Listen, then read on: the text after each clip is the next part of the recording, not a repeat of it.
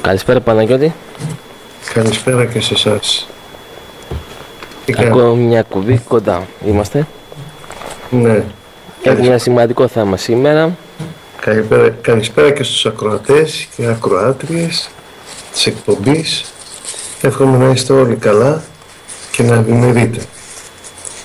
Για λέγε λοιπόν. Μάλιστα. Λοιπόν, σήμερα θα μελετήσουμε το Λευκό Βιβλίο και θα μιλήσουμε περί ψυχής και προϋπάρξεώς της. Και θα θέλαμε να μας... Έχεις ε, α, από φίλους έτσι, έχεις ερωτήματα από φίλους; Τώρα να μου- ξεκινάνε. δηλαδή, με ρωτάνε πολλά πράγματα, βέβαια θα τα πούμε στη ροή, θα κάνουμε μια λογική ροή, έτσι δεν είναι Παναγιώτη, δεν θα λέμε. Ωραία. Α, αν είναι να μας ε, μου κάνουν τις, να γράψουν κάποιες ερωτήσεις επί, Βέβαια, του θέμα- ήδη γράφουμε. Ε, επί του θέματος για να μην αρχίσω να λέω προύπαρξη ψυχής και τέτοια γιατί είναι Ατελείωτο. δεν ακούγεται καλά. Μια ελληνική ψυχή, κατά τη μεταμόρφωσή της γεννη- γεννιέται πάλι ελληνική; Δεν ακούω καλά, κάνει διακοπές λίγο. Τώρα με ακούς; Ναι, Μια ελληνική ψυχή, κατά την ύπαρξή της, κατά τη μετασάρκωσή της, γεννιέται πάλι ελληνική; Η ψυχή δεν γεννιέται. Η ψυχή προϋπάρχει και είναι μόνιμα η ίδια. Όταν έρχεται σε αυτούς τους κόσμους των τριών διαστάσεων, τότε με, τα, με το μυστήριο το οποίο γράφω στο λευκό το βιβλίο, ε, διαμορφώνεται το σώμα, πυκνώνεται κατά τους εννέα μήνες στην κοιλιά της μητέρας παίρνοντας όλα τα στοιχεία του σάρκινου φορέως από τη μητέρα.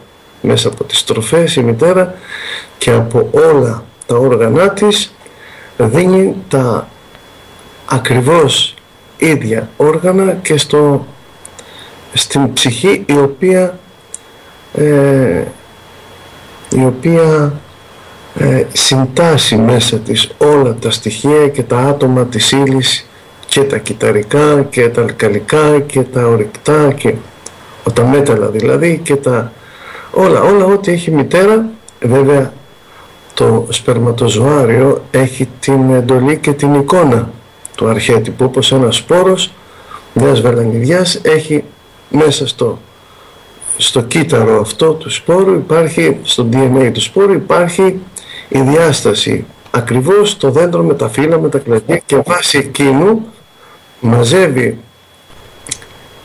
ίδια, α, ίδιες μνήμες κυταρικές και της μητέρας επειδή και οι δύο είναι ίδια όντα ε, μαζεύει και σιγά σιγά πυκνώνεται μέσα στην κοιλιά. Αν δεν υπήρχε το αρχέτυπο της εικόνος δεν θα δημιουργεί το εικόνα.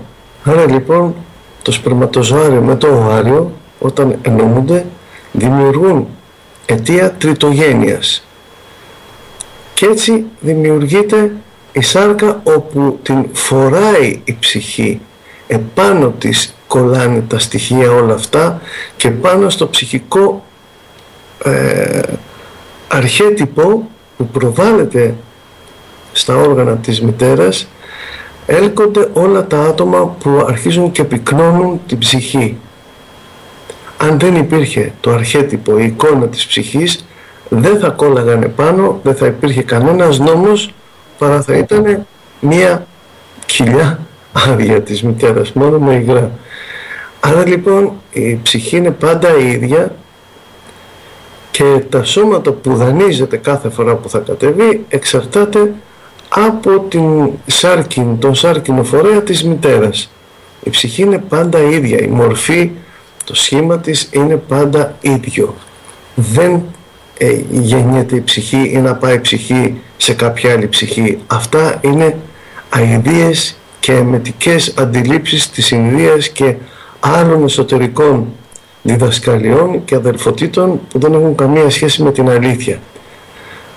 Έτσι λοιπόν η ψυχή είναι πάντα η ίδια, δανείζεται σάρκα από την μητέρα όπως και ο Χριστός δανείστηκε την σάρκα της μητέρας του, πυκνώθηκε το αρχέτυπο, η προβολή μέσα στα όργανα της μητέρας και στους εννέα μήνες που ολοκληρώνεται η πυκνότητα και οι λειτουργίες και η καρδιά και όλα τα όργανα του είναι έτοιμο από το υγρό στοιχείο να βγει στο αέρινο που είναι ο κόσμος τούτος.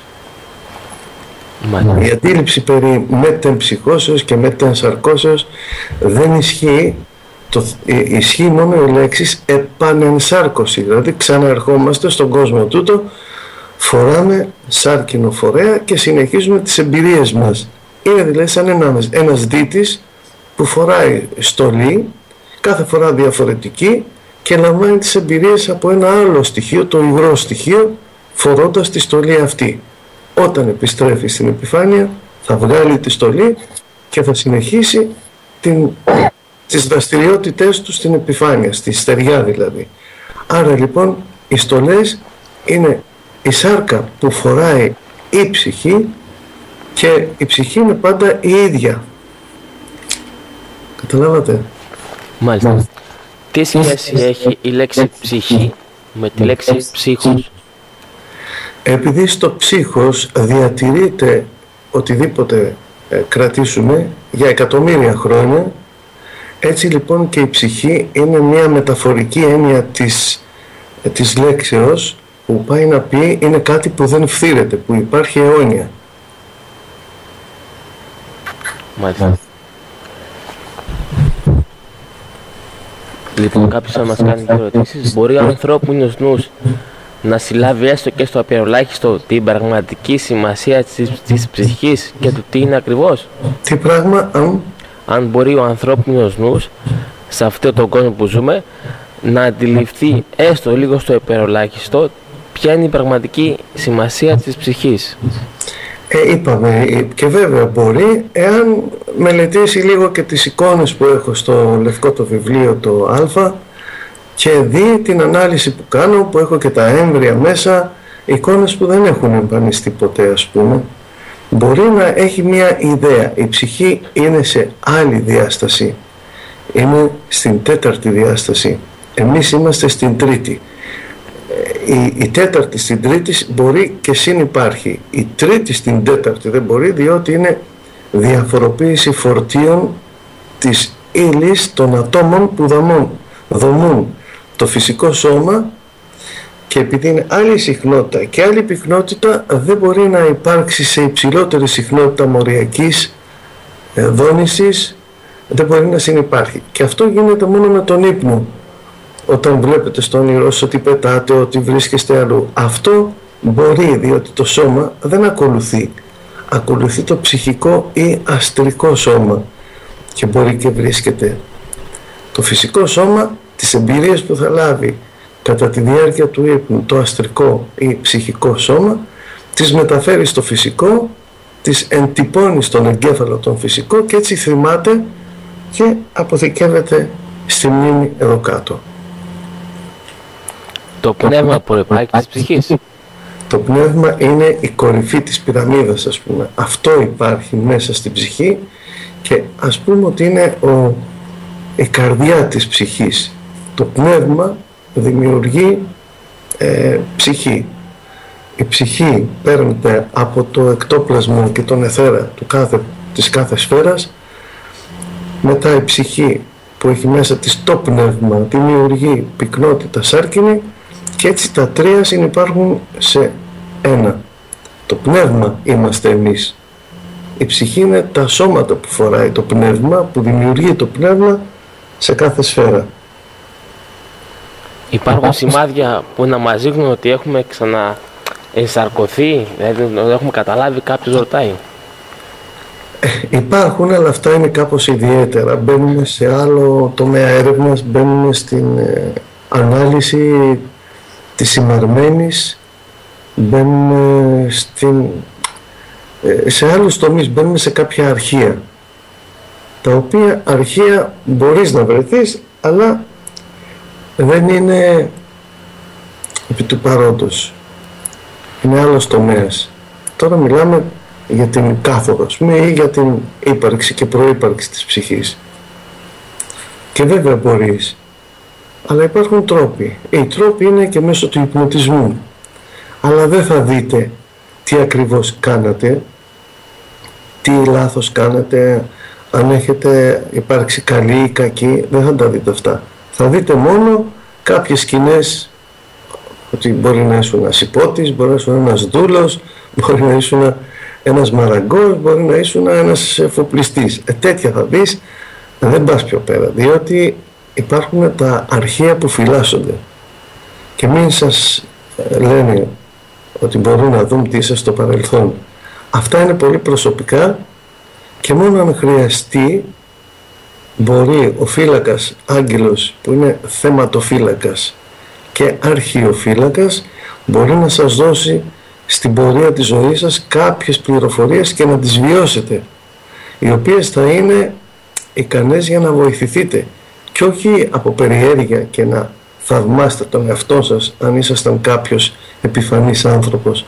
Μπορεί να ήσασταν και κάποιος εγκληματίας μπορεί και κάποιος ομοφιλόφιλος μπορεί πολλά μην τα βλέπετε όλα ρομαντικά και ωραία.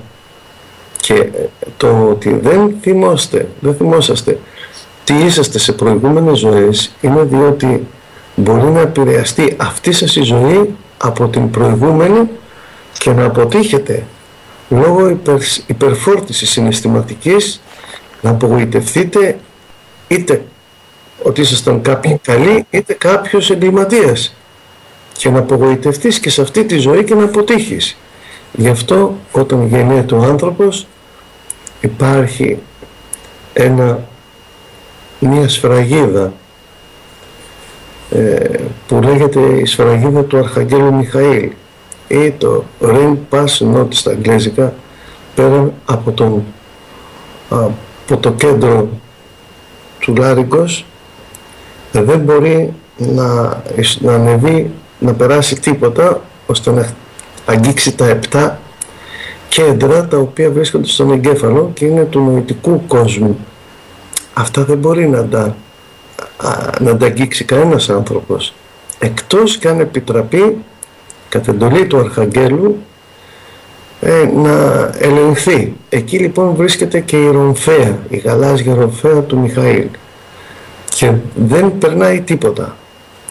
Και ο λόγος που δεν περνάει είναι για να μην επηρεαστεί η προσωπικότητα αυτή που έχουμε τώρα, διότι η ατομικότητα έχει να κάνει με την, το, με την ψυχή. Η ψυχή είναι άτομο. Η προσωπικότητα είναι πολλές. Είναι σαν να παίζετε, να είστε ένας ηθοποιός που είστε πάντα ο ίδιος ηθοποιός, η ίδια, το ίδιο όνομα, αλλά παίζετε πάρα πολλούς ρόλους κατά τη διάρκεια της ζωής. Ο κάθε ρόλος λοιπόν έχει και ένα αντίσημο, έχει μια εποχή, έχει μια προσωπικότητα.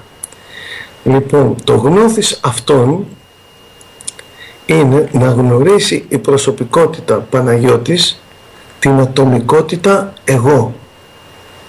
Αυτός είναι ο λόγος και το μήνυμα γνώθεις αυτόν.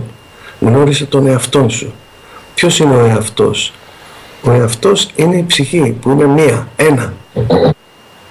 Το γνωρίζω είναι η προσωπικότητα. Σοκράτης, Εμμανουήλ, Μιχαήλ, Μαρία, Ιωάννα. Είναι προσωπικότητες, είναι ρόλοι που φοράει η ψυχή για το σκοπό που κατεβαίνει να λάβει τις εμπειρίες που είναι να λάβει. Να μην κάνει τις προηγούμενες, τα προηγούμενα λάθη. Θα μου πεις και πού ξέρουμε ότι έχει περάσει μία ψυχή εκατομμύρια χρόνια αυτή σας η παρουσία εδώ κάτω είναι το άθροισμα όλων των χαρακτήρων και των προσωπικότητων. Εσείς είστε πάντα το ένα. Αν λοιπόν θέλετε να δείτε τι είστε σε προηγούμενες ζωές, πάρτε ένα χαρτί, κάντε μια γραμμή κάθετη και γράψτε αριστερά ελαττώματα και δεξιά αρετές. Όταν θα γράψετε τα ελαττώματα αριστερά, είσαστε ειλικρινείς με τον εαυτό σας όμως. Τότε θα τα προσθέσετε και θα δείτε εάν τα ελαττώματά σας που υπάρχουν ακόμα και, τα, και οι αρετές σας, τα καλά είσαστε εσείς, τότε θα πρέπει να κάνετε έναν αγώνα και να προσπαθήσετε κάθε φορά να βελτιώνεστε στα αρνητικά διότι εάν τώρα είσαστε με αυτά τα αρνητικά Αυτό είναι αποτέλεσμα χιλιάδων καθόδων τα οποία δεν έχουν σβήσει και τα κουβαλάμε. Όταν όμως κοινωνάμε ενσυνειδήτως πολλά από αυτά σβήνουν όπως είπα την περασμένη φορά με τη Θεία Κοινωνία σβήνουν και μένουν τα υπόλοιπα για να λάβουμε την χάρη. Στην πορεία λοιπόν τώρα επειδή τελειώνουν οι εποχές των καθόδων όλων των ανθρώπων του πλανήτη Γη, όλο το δυναμικό, δεν θα υπάρξουν πλέον άλλες κάθοδοι και θα πρέπει οι μεν θετικοί να περάσουν σε άλλη διάσταση, οι δε αρνητικοί να βρεθούν σε κάποιους χώρους μη αρεστούς. Αυτή λοιπόν η εξέταση που περνάει ο πλανήτης Γη είναι οι εξετάσεις πίστεως 666. Είναι ο αριθμός που πρέπει οι άνθρωποι να δοκιμαστούν είτε να περάσουν στην ανώτερη τάξη είτε να απολεστούν. Παναγιώτη, πριν πούμε στην επόμενη ερώτηση, να θυμίσω ότι τα βιβλία σου υπάρχουν από τις εκδόσεις Πύρα και είναι στη σελίδα του Ράδιο Ήλιος. Ilioswebradio.com είναι ακόμα σε προσφορά, αποστέλλεται σε όλο τον κόσμο όπου θέλετε, είναι ακόμα σε προσφορά, ισχύει προσφορά ειδικά το πακέτο όλων, είναι πολύ σε τιμή. Όπως και στο 210 20 29 300 στο τηλέφωνο εκδόση πήρα, μπορεί να το παραγγείλετε και τηλεφωνικό άμα θέλετε. Ε, Παναγιώτη, δηλαδή, μια ψυχή που πες τώρα για το σχέδιο 666, αν δεν κοινωνήσει ποτέ ζωή της ή δεν ε, μετα... ή δεν συμμετέχει στα μυστήρια της Εκκλησίας, είτε είναι εξομολόγηση, είτε κοινωνία, είτε όλα αυτά, τα αυτά μυστήρια. Μπορεί να σου διαδελάβει το χάραγμα, υπάρχει περίπτωση. Εάν είναι χριστιανός το λαϊκό. και δεν λάβει το χάραγμα, και αν του το έλεγα στο για τον λόγο του ότι είναι χριστιανός και ξέρει ότι είναι τα πρώτα μόνος ε, και μετά απόρριψη του Θεού αλλά δυστυχώς δεν το κάνω. προς το πρόσωπό του. Δηλαδή ο άνθρωπος δεν δέχεται τον Χριστό για Θεό του και δέχεται τον Αντίχριστο θα απολεστεί. Εάν τώρα με αυτά που λες δεν κοινωνάει, δεν κάνει και για, το λόγο, για λόγους πίστεως δεν λάβει το χάραμα με σκοπό, ε, με λογική ότι ο Κύριος μου και Θεός μου είναι ο Ιησούς Χριστός, ναι, σώζεται. Αν δεν το λάβει. Αλλά το σωστό και το πρέπον είναι να κάνει τις προσπάθειές του και να σέβεται τα μυστήρια του Θεού ε, στη γη. Έτσι δεν είναι να κάνει συμφωνία, διότι και η συμφωνία αυτή δεν στέκει κάπου, είναι σαν να τον βολεύει αυτό το σύστημα και σου λέει «Α, κάνω τα πάντα και δεν θα πάρω τον αριθμό, οπότε συγχωρούμε». Όχι, δεν είναι έτσι. Δεν είναι έτσι, δεν κάνουμε συμφωνία με το υπέρτατο θείον. Κάνουμε προσπάθεια. Και η χάρις έρχεται στον δρόμο και μας χαριτώνει. Μάλιστα. Γιατί έχω εύκολα εδώ.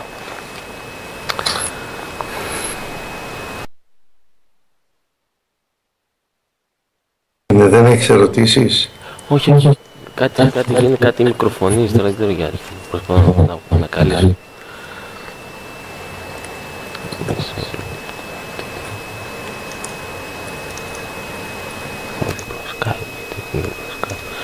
Τώρα με ακούτε; Ναι, ωραία, ακούγομαι. Είχαμε διπλό Skype, ωραία. Παναγιώτη, αυτοί που φύγανε, οι δικοί μας, οι παππούδες, προπά, προπάτορες, ε, έχουν ξαναεπανέλθει στη ζωή και εμείς είναι η μοίρα μας να τους, ξα... να τους ξανασυναντήσουμε ή θα επανσαρκωθούν κάπου αλλού;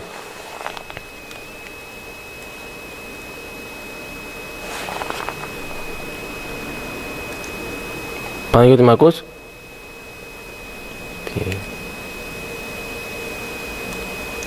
Έχει δημοτικό, γυμνάσιο, λύκειο, πανεπιστήμιο. Ε, λογικό είναι να έρχονται και να ξαναέρχονται και αυτοί.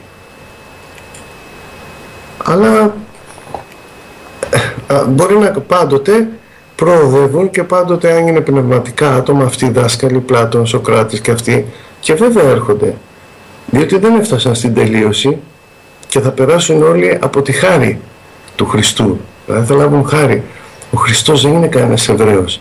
Δεν είναι άνθρωπος. Είναι το απερινόητον θείο όν το απόλυτο ένα το άφατον αυτό που δεν πιάνει νους ανθρώπου. Και επειδή εδώ κάτω είναι νηπιαγωγείο έρχεται όπως και εμείς με ένα σώμα για να μας είναι προσιτός και να τον αγγίξουμε. Και ήρθε με αυτό το σώμα Ιησούς. Έτσι λοιπόν αντιλαμβανόμαστε τον δημιουργό μας αλλά ποτέ το όνομά του δεν είναι του Θεού της μονάδος δεν είναι Ιησούς Χριστός. Όχι.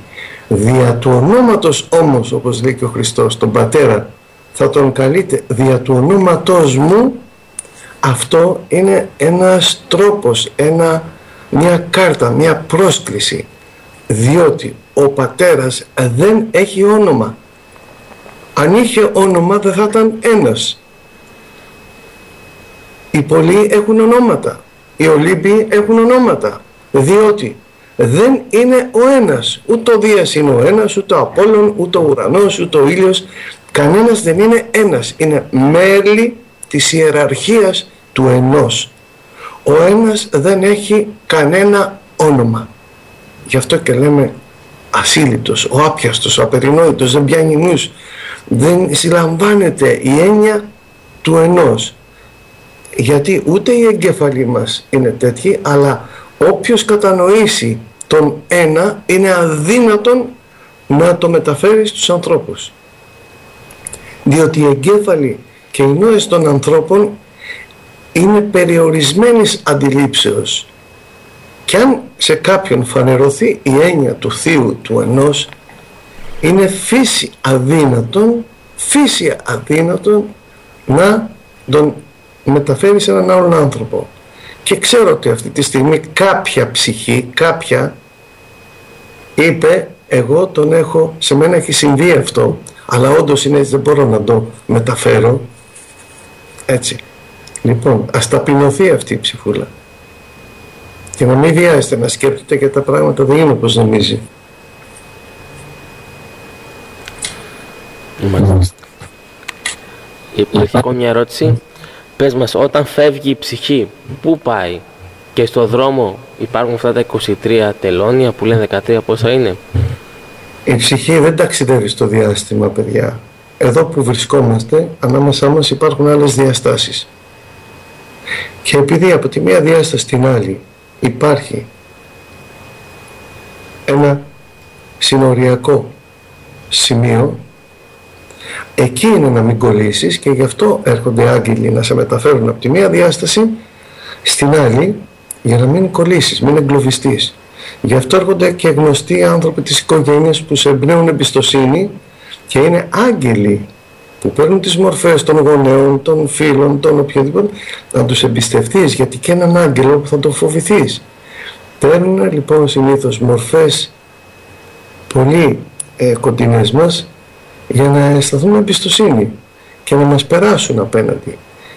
Ε, σε αυτό το κενό, εκεί υπάρχουν τα αρνητικά. Δεν είναι σε 10 μέτρα ύψος και 1000 χιλιόμετρα, είναι ανάμεσά μας. σε ένα, αν πάρετε ένα ποτήρι νερό και ρίξετε μια κουταλιά ζάχαρη, το ανακατέψετε. Παίρνετε και άλλη κουταλιά νερό και ρίχνετε. Πάλι ζάχαρη την ανακατεύετε. Έχετε ρίξει πέντε κουταλιές ζάχαρη και δεν ανεβαίνει η στάθμη του νερού. Γιατί δεν ανεβαίνει, ξέρετε; Διότι ανάμεσα στα μόρια του νερού υπάρχουν κενά. Το στοιχείο της γλυκόζης γεμίζει τα κενά του, των του, του ύδατος, τα κενά των μορίων του νερού. Όταν γεμίσουν τα, τα, κενά του νερού, τότε μπορεί να ανέβει στάθμη, αλλά πρέπει να βάλεις πάρα πολύ ζάχαρη. Τόσο μεγάλα κενά έχει το νερό που δεν τα βλέπετε. Με τον ίδιο λοιπόν τρόπο, το, η σταγόνα, το, το μόριο του νερού ε, δεν πληρούνται από το μόριο ή το άτομο του, της ε, πεντόζης ή της, ε, της γλυκόζης. Το κάθε ένα πιάνει το χώρο του. Αυτά συνυπάρχουν, αλλά ποτέ το ένα δεν επηρεάζει το άλλο. Και το οξυγόνο υπάρχει, και το υδρογόνο υπάρχει, και η γλυκόζη υπάρχει, αλλά κανένα από αυτά δεν αγγίζει το άλλο. Έτσι λοιπόν είναι και εδώ οι διαστάσεις. Είναι ηλεκτρικές συχνότητες που η μία με την άλλη δεν συναντιέται λόγω διαφοροποιήσεως ηλεκτρικών φορτίων της ύλης του καθενός. Αποθούνται. Καταλάβατε; Μάλιστα. Γιατί κάνουμε τα τρίμηρα στους νεκρούς, γιατί κάνουμε τα μνημόσυνα; Είναι αλήθεια ότι ο, ο νεκρός στην αρχή γυρνάει γύρω από, το, από εκεί που έζησε τις πρώτες μέρες μέχρι να, να φύγει; Ε, ναι, είναι αλήθεια ότι ο, αυτός που φεύγει, όχι ο νεκρός, η ψυχή που φεύγει, πρέπει να λάβει βοήθεια για να μπορεί να συνεχίσει να ζει στον παράλληλο κόσμο που θα βρεθεί, της αντιήλης ή της τέταρτης διάστασης και για να μάθει το τι του συμβαίνει σε αυτούς που δεν γνωρίζουν και δεν κατέχουν αυτή τη σοφία της δημιουργίας ε, στους απλοϊκούς ανθρώπους τους μπαίνουν σε έναν χώρο κοινό στο δικό τους το χώρο που ζούσαν πριν ε, συνευρίσκονται με τους αγαπητούς τους βλέπουν ώστε σιγά σιγά η ψυχή να συνειδητοποιήσει την μετάστασή της. Για να, για να μην πάθει κάποιο σοκ ηλεκτρικού, ηλεκτρικής υφής και βραχικυκλώσουν τα κέντρα τα ψυχικά του σώματός του και πάθει ζημιά και χρειαστεί να μπει σε μια κατάσταση φόρτισης κοινώς ύπνωσης που μπορεί να πάρει γήινα χρόνια και, και 100 χρόνια και 1000 χρόνια. Εκεί δεν υπάρχει χρόνος. Ανάλογα με τη βλάβη του ψυχικού φορέως. Έτσι λοιπόν βρίσκεται στους χώρους αυτούς, βλέπει τους φίλους του, τις, τους γονείς του, τα πάντα και καταλαβαίνει, ενώ αυτή κλαίνει και βλέπει ένα πτώμα κάτω, αυτός είναι ήσυχος γιατί βλέπει το σώμα του, αλλά αυτός υπάρχει. Και τη στιγμή που υπάρχει συνειδητοποιεί ότι έχει γίνει η αποκοπή του και χαμογελάει. Γιατί ζει, δεν πέθανε. Έτσι λοιπόν σιγά σιγά όταν συνειδητοποιεί αυτό αρχίζει η αυτοκριτική. Μεταπεριμένει βέβαια να περάσει στους ανάλογους χώρους. Τα τρισάγια και όλα αυτά είναι σαν να στέλνουν πως στέλνουμε εδώ εμβάσματα σε κάποιον που δεν έχει ή σπουδάζει το παιδί μας ας πούμε τους στέλνουμε ένα έμβασμα. Αυτό θα το λάβει από τη χώρα τη δική μας και θα εξυπηρετηθεί ως προς τις ανάγκες του. Το ίδιο είναι και τα τρισάγια. Επικαλούμεθα τον Ιησού Χριστό, την Αγία Τριάδα, με, τον, με το αξίωμα του ιερέως, γίνεται η επίκληση και ζητάμε για την ψυχή του να έχει ανύψωση.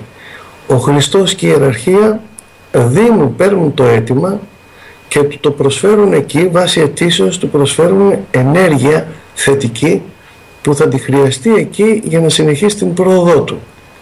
Αυτά είναι τα μυστήρια του ευχελαίου, το, του Τρισάγιου. Ο Ιεράς ζητάει εν τόπο φωτεινό, εν τόπο πλευρό, τόπο αναψύξεως. Γιατί λέει αναψύξεως. Διότι δεν πεθαίνεις. Το είπαμε πριν, το ψύξεως ποιος είναι, που διατηρείται. Η ψυχή δεν πεθαίνει. Η αναψύξεως είναι ότι συνεχίζει και ζει. Το χλωερό είναι ότι υπάρχει βλάστηση, υπάρχει ζωή. Ωραίο. Φωτεινό είναι το φως. Μάλιστα. Το φως συμβολίζει την παρουσία του Χριστού. Το φως είναι ο Θεός ο ίδιος, πανταχού. Απανταχού. Μάλιστα. Όταν λες ότι η ψυχή έχει και αυτή αντίστοιχα όργανα όπως η κότη, το ψυχικό σηκώτη, η ψυχική καρδιά, τι εννοείς με ρωτάει; Δεν έχει σηκώτη, έχει όργανα ανάλογα που το κάθε όργανο της ψυχής ανταποκρίνεται σε ένα φυσικό όργανο του φυσικού σώματος. Δηλαδή βλέπετε έναν άνθρωπο και λες καλά πώς κυκλοφορεί; Το αυτοκίνητο λέμε έχει βενζίνα, έχει μοτέρα, έχει ηλεκτρισμό, έχει μπαταρία, ε, τέλος πάντων και κινείται.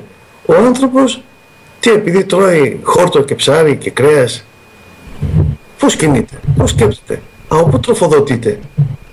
Του βλέπεις έναν άνθρωπο και περπατάει και ξαφνικά πάμε πεθαίνει. Α, αυτά τα χρόνια από πού παίρνει ενέργεια; Πού είναι, δεν βλέπουμε τίποτα, βλέπουμε ένα σώμα, ένα στόμα, μύτη, αυτιά, μάτια, σηκώτια, πνευμόνια, όλα όλα αυτά. Και λες καλά, η καρδιά πάλεται. Από πού πάλεται, ποια είναι η ενέργεια που κάνει την καρδιά να χτυπάει εφόσον ένα ρολόι ηλεκτρικό έχει την μπαταρία του; Η καρδιά τι μπαταρία έχει, από πού είναι η μπαταρία της καρδιάς; Είναι στο ψυχικό σώμα. Και επειδή το ψυχικό σώμα συνδέεται με όλα τα κέντρα τα ανθρώπινα και τα όργανα, το ψυχικό σώμα με τις ενέργειες τις πνευματικές που έχει ως πνεύμα που είναι φτιαγμένη η ψυχή από το πνεύμα το πνεύμα ζωγονεί την ψυχή η ψυχή ζωγονεί το φυσικό σώμα. Οι ώρες και οι χτύποι του κάθε ανθρώπου είναι προσχεδιασμένοι. Όταν τελειώσει την αποστολή του εδώ κάτω και φτάσει στο σημείο 0 η χτύπη αποκόπτεται και επιστρέφει με πλήρη συνειδητότητα στον ψυχικό χώρο που έχει το σώμα του, το πραγματικό, οι αισθήσεις του, η χαρά, σκέπτεται. Διότι εάν το φυσικό σώμα αποκοπεί η ψυχή από το σώμα, βλέπουμε ένα πράγμα, ένα τσουάλι. Και λες καλά, με αυτός γελούσε, χαιρότανε, σκεπτόταν, έλεγε σοφίες. Τώρα τι είναι αυτό; Πάμε εδώ στον Άμλετ τώρα, έτσι που κρατάει το κρανίο και λέει to be or not to be. Τι είναι η ζωή; Πάμε εκεί, στο άψυχο. Άρα όλα αυτά, οι αισθήσεις, η χαρά, η λύπη, τα πάντα είναι η ψυχή που μέσα από το φυσικό σώμα εκφράζεται στον πέριξ κόσμο των τριών διαστάσεων. Τα χέρια, οι άκρες ε, είναι οι αισθητήρες. Το μάτι, τα πάντα είναι αισθήσεις. Αγγίζεις με τα χέρια, καταγράφει ψυχή. Μυρίσεις με την, ε, την οσμή, καταγράφει ψυχή. Ο εγκέφαλος καταγράφει, η ψυχή αναλύει και το πνεύμα διηλίζει και αποθηκεύει. Καταλάβατε, είναι όπως το τηλεσκόπιο. Έχει τρία στελέχη. Όταν το κλείσουμε είναι ένα. Όταν το ανοίξουμε βλέπουμε ότι αυτό το ένα, το πρώτο, από μέσα του βγαίνουν δύο άλλα κομμάτια. Άρα τα τρία στελέχη του τηλεσκοπίου μας κάνουν και βλέπουμε αυτό που είναι να δούμε. Όταν τελειώνουμε το ένα μπαίνει μέσα στο άλλο και βλέπουμε πάλι ένα κομμάτι. Αυτό το κομμάτι λοιπόν έχει τρεις υποστάσεις και τρεις προβολές. Θα σας το κάνω λίγο πιο πεζό. Η, η, ψυχή είναι που ζει, η ψυχή είναι που αισθάνεται. Κάθε λοιπόν κέντρο και κάθε όργανο ανθρώπινο είναι αποτέλεσμα προεκτάσεως του ψυχικού σώματος. Αν το σώμα ζει και αισθάνεται και υπάρχει και σκέπτεται, δεν είναι το σώμα. Είναι η ψυχή μέσα από αυτό που λειτουργεί. Αγαπάμε έναν άνθρωπο και τον φυλάμε και φυλάμε την ψυχή, αλλά δυστυχώς τον φυλάμε μέσα από τα χείλη και αγγίζουμε και τον άλλο στα χείλη γιατί η επαφή της ψυχής της μιας με την άλλη ε, ε, επηρεάζει και το φυσικό σώμα. Και έτσι έχουμε ανάγκη τη μαμά, τον μπαμπά, το παιδί, τη γυναίκα, ε, τον άντρα, το φίλο. Τα σώματά μας αγγίζουν όταν φτάσετε να αντιληφθείτε ότι δεν είναι τα σώματα και μπορεί να γίνει το άγγιγμα και το φιλί καθαρά ψυχικό τότε έχετε φτάσει σε πολύ ψηλά επίπεδα αλλά και πάλι θα σεβαστείτε την ύλη σας θα την χρησιμοποιήσετε έως ότου καταφέρετε να ταξιδεύετε χωρίς το σώμα με τις αισθήσεις, τις ψυχικές να βλέπετε, να διοράσετε, να ακούτε τηλεπαθητικά να γεύεστε πράγματα και να έχετε τη σχέση με το άπειρο σύμπαν ακαριέα στη στιγμή. Όλα λοιπόν αυτά εδώ κάτω είναι γνώσεις και γεύσεις από ένα φαγητό και γλυκά. Όταν φτάσει ο άνθρωπος να ερωτεύεται και να αγαπάει και να πολλαπλασιάζεται έξω δεν έχει αυτό τον τρόπο πολλαπλασιασμού η ψυχή. Εδώ κάτω στη γη είναι έτσι τόσο πρωτόγωνα, τόσο ε, χάλια σε σχέση με εκείνο. Λοιπόν, το σύμπαν και η, η άπειρη δημιουργία του Θεού συνέχεια γεννιέται, αναγεννά ο Θεός. Δεν τελειώνει ποτέ. Εκεί λοιπόν πώς πολλαπλασιάζονται; Πώς αισθάνονται τον έρωτα, την ειδονή, τον οργασμό; Γιατί εδώ κάτω παίρνουμε γεύσεις που μέχρι να καταλάβεις τον οργασμό, μέχρι να συνειδητοποιείς τι είναι αυτό, έχει φύγει. Όμως όταν φτάνετε σε κατάσταση οργασμική, χαζεύετε. Δεν θυμόσαστε τίποτα. Και μέχρι να θυμηθείτε τι ήταν αυτό που αισθάνθηκα, έφυγε. Αυτό, φανταστείτε το, σε άλλους κόσμους ανώτερους, με άλλους τρόπους, να βρίσκεστε σε μια κατάσταση οργασμική συνεχή, όχι δευτερολέπτα, συνεχή και κάτω από αυτή την κατάσταση να λειτουργείτε και να δημιουργείτε και να διδάσκετε και να κάνετε πράγματα στο σύμπαν. Και να είσαι σε αυτή τη μόνιμη κατάσταση αυτό που λένε κάποιοι είναι Ιρβάνα δεν είναι η Νιρβάνα αυτή. Και η Νιρβάνα είναι μια πολύ φτωχή λέξη που περιγράφει το συνεχές αυτή τη συνεχή οργασμική κατάσταση της οντότητας που έχει μέσα της ολοκληρωθεί από το Θείο γι' αυτό και εδώ κάτω η επανάληψη της σεξουαλικής πράξης για να αισθανόμαστε αυτό το πράγμα το, το θείο, την θεία παρουσία λέγεται πορνεία διότι το κάνεις πια για ικανοποίηση και δεν ενώνεσαι με το θείο. Πορνεύεις αυτή την θεία ειδονή με τεχνητούς τρόπους κατωτέρας ποιότητος και κατωτέρων ε, πραγμάτων και βοηθημάτων και και και και αυτό σε σχέση με το παράλληλο λέγεται πορνεία. Πορνεύεις δηλαδή την θεία ουσία και την θεία ειδονή που ε, την έχεις και εκεί βλέπεις ότι μετά από αυτό, μέσα από αυτό υπάρχει γέννηση, δημιουργία. Γεννάς άνθρωπο με όλες τις ποιότητες τις θεϊκές της, του πνεύματος, της διανόησης, του νου, των αισθήσεων, της σκέψης, της λογικής, της κρίσεως, της διάκρισης που τα ζώα δεν έχουν που τα ζώα δεν έχουν κι όμως χρησιμοποιείς τα σεξουαλικά όργανα, τα αναπαραγωγικά όργανα μόνο και μόνο για ικανοποίηση. Αυτό είναι πορνεία προς την αλήθεια διότι οπωσδήποτε θα έρθει σε οργασμό. Όμως αυτός ο οργασμός γίνεται, καταντάει συνήθεια προς ε, επιθυμία και ε, κατάσταση πια ε, άκρος εγωιστική και βάναυση. Χάνει και την ομορφιά της. Και αυτό λέγεται πορνεία γίνεσαι ένας πόρνος της αληθείας και της Θείας Ουσίας του Θεού. Ναι. Μέσα από τα μάτια φαίνεται η ψυχή. Την αισθάνεστε. Δεν την βλέπετε. Εκτός και αν κάποιος είναι διορατικός και μπορεί να τη δει. Ναι. Όμως ο κάθε άνθρωπος τα μάτια είναι το μόνο σημείο που δεν μπορείς να καλυφθείς. Μέσα από τα μάτια βλέπεις και ε, αισθάνεσαι το ψυχισμό του άλλου. Είναι το μόνο που δεν μπορείς να κρύψεις. Αν ο άλλος έχει την ικανότητα να δει, τότε θα δει ποιότητες της ψυχής σου και ελαττώματα. Αλλά πάλι δεν επιτρέπεται να σε κρίνει. Θα γνωρίσει πράγματα και μπορεί να φυλαχτεί από εσένα, χωρίς να σου δείξει. Γι' αυτό και σε πολλούς λέγω, όταν καταλαβαίνετε κάποιους αρνητικούς, ότι είναι αρνητικοί και είναι κακοί, μην δείξετε ποτέ ότι τους καταλάβατε. Θα σας εξοντώσουν. Κάντε το χαζό.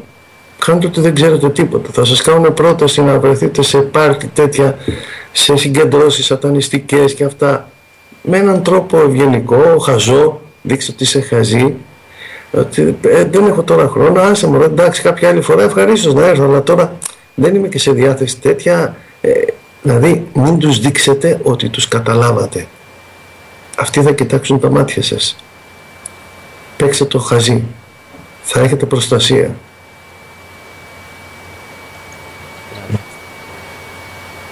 Τελικά ψυχής 21 γραμμάρια.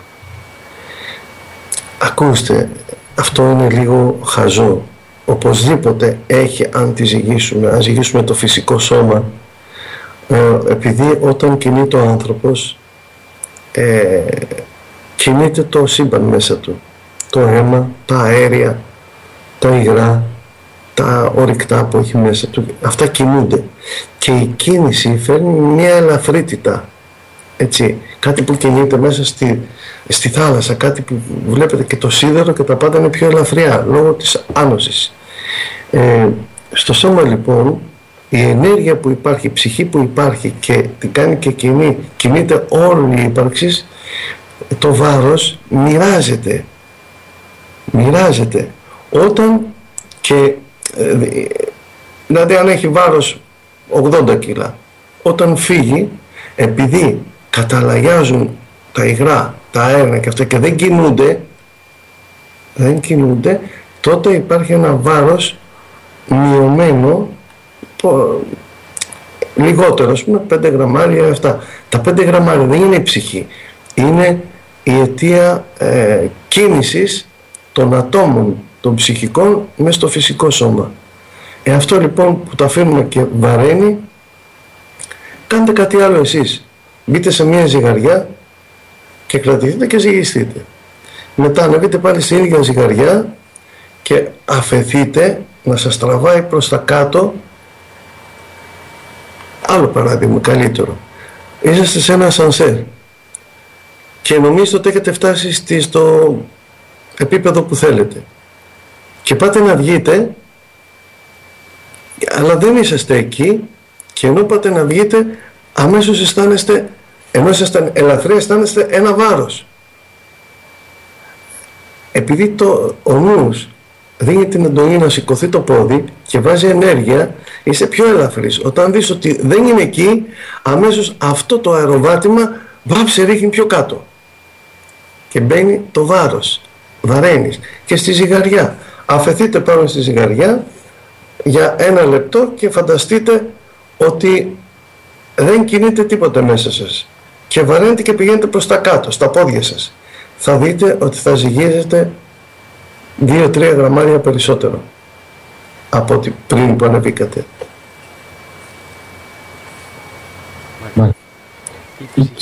Πού είναι, ρωτάει κάποιος, είναι μέσα μας, είναι έξω, γύρω από κάπου. Ό,τι είναι το σώμα σου είναι ακριβώς η ίδια η ψυχή. Αυτό φοριέται. Σαν ένα σώμα να διαχέεται μέσα στο άλλο. Δεν είναι κάπου σε ένα σημείο. Είναι ένα σώμα που φοράει το άλλο σώμα. Απλά η έδρα της ψυχής είναι στο ηλιακό πλέγμα που συνδέεται με το σηκώτη, το πάγκρας και τα επινεφρίδια αλλά στο σηκώτη περισσότερο συνδέεται. Εκεί είναι η έδρα του. Όμως η ψυχή είναι όπως το σώμα. Φανταστείτε ένα διαφανές σώμα να είναι μέσα στο, σε αυτό που είστε εσείς έτσι, οι ίδιοι.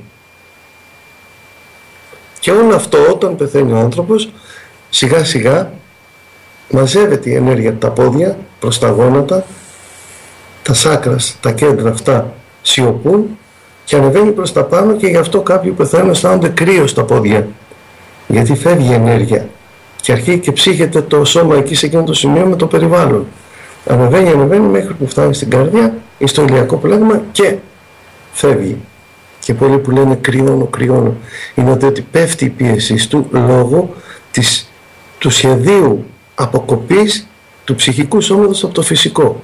Αυτά που σας λέω παιδιά είναι πολύ βαθιά νοήματα και δεν τα έχω γράψει στο βιβλίο. Έτσι, είναι πολύ εσωτερική, είναι εσωτερική γνώση που προσπαθώ έστω και έτσι σιγά σιγά να σας δίνω απαντήσεις και να βλέπετε αυτό που λέει ας πούμε κρυώνω λέει κάποιος που πεθαίνει φεύγει. Ακριβώς είναι ότι αρχίζει το πρόγραμμα της αποκοπής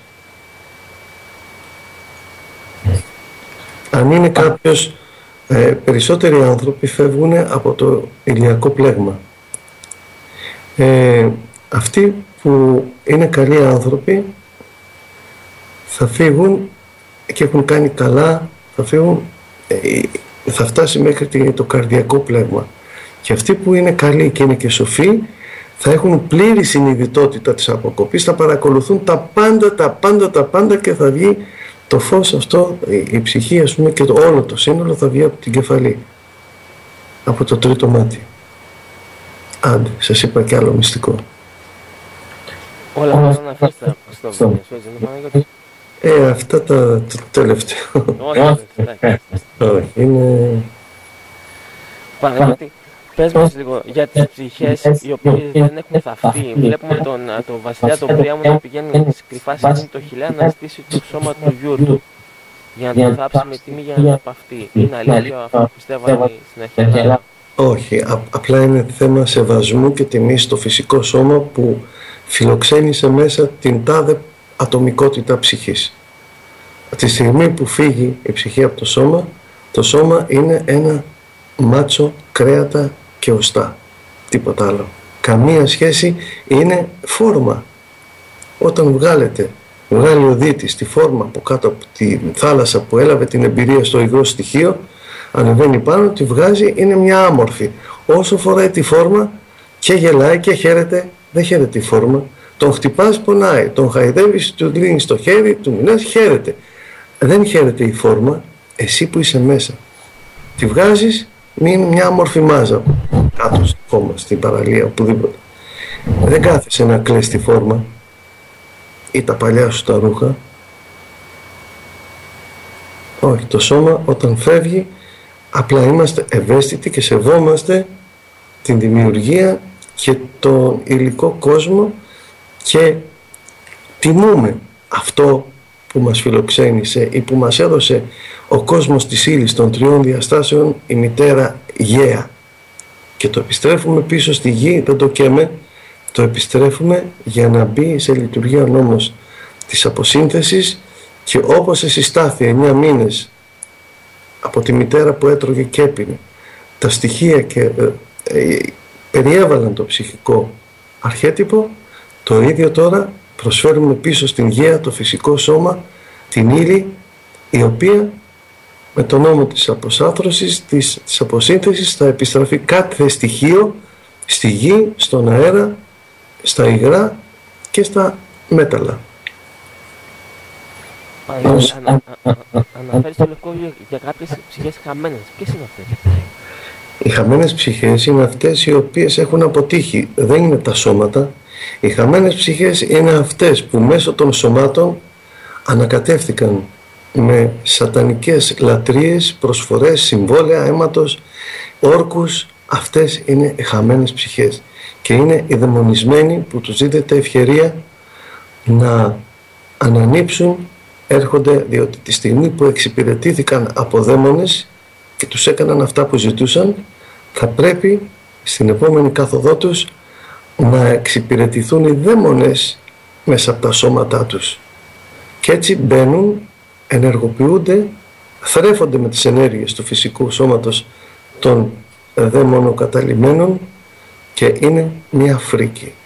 Αυτοί καθυστερούν πάρα πολύ να σωθούν, μα πάρα πολλές ζωές.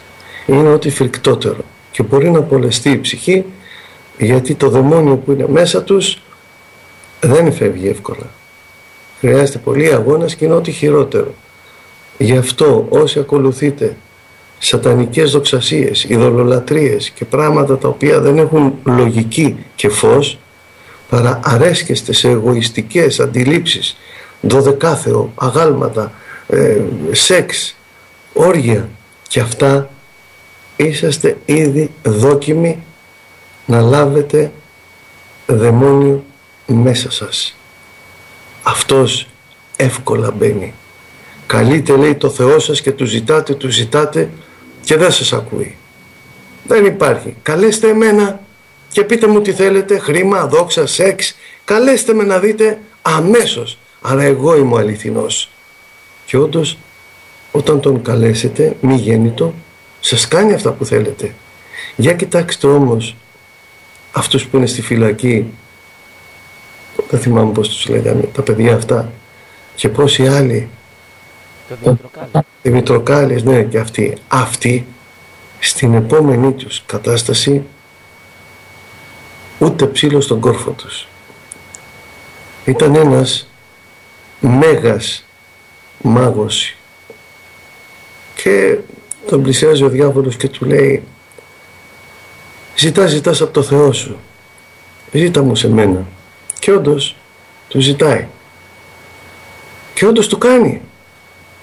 Λεφτά, δόξα, εγκλήματα, σεξουαλικές διαστροφές, όργια με το σατανά, θυσίες. Τον πιάσανε λοιπόν αυτόν και τον βάλανε φυλακή. Χαρά αυτός, βάλτε με λέει μέσα, εγώ θα βγω. Και είναι να τον σκοτώσουν, τον θανατώσουν αρχίζει και επικαλείται τον Εωσφόρο και του λέει πού είσαι εγώ σε λάτρεψα, σε πίστεψα σου ζητούσα, σου ζητούσα μου τα δίνες πού είσαι τώρα να με βγάλεις από εδώ και την καταδίκη της κρεμάλας; Και το απαντάει ο Εωσφόρος Εγώ ρε ανόητε. Τόσα χρόνια ακριβώς προσπαθούσα να σε φέρω σε αυτό το σημείο. Να σε θανατώσω να πάρω την ψυχή σου. Και μου ζητάς να σε βγάλω έξω. Αυτός ήταν ο σκοπός μου. Καταλάβατε. Αυτό που σας λέω είναι αληθές. Είναι αληθέστατον. Έτσι ψαρεύει στην ανάγκη σας και στις επιθυμίες και στο εύκολο χρήμα και στην ισχύ και στην πορνεία σου φέρνει όποια θέλεις σου φέρνει όποιον θέλεις αλλά πρόσεξε γιατί θα σου δώσει μια θανατηφόρα ασθένεια γιατί ζητάει την ψυχούλα σου. Και η ψυχή σου του ανήκει. Και ανάλογα με τα έργα της και τους όρκους της δεν θα βρεθεί στους χώρους που θα ήταν πριν αν έφευγε κανονικά θα εγκλωβιστεί σε κενά ενεργειακά μεταξύ τρίτης και τέταρτης διάστασης. Εκεί θα δείτε τι υπάρχει όσοι βρεθείτε εκεί. Εκεί θα δείτε ότι δεν πεθαίνετε αλλά μόνοι σας επιλέξατε τον τομέα αυτό γιατί για κάποια ηλίθια χρονάκια ανύπαρκτα ζητήσατε να ικανοποιήσετε την ψυχή μέσα από το φυσικό σώμα όλα για το σώμα, όλα για τη σάρκα σεξ, λεφτά, πιωτά, γλέντια κόκες, τσιγάρα, ναρκωτικά τι θέλεις, τις γυναίκες.